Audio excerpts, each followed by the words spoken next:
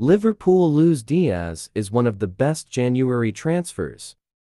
According to Jurgen Klopp, you don't expect miracles immediately from these kind of players, but he is not far away from doing exactly that. Long may it continue.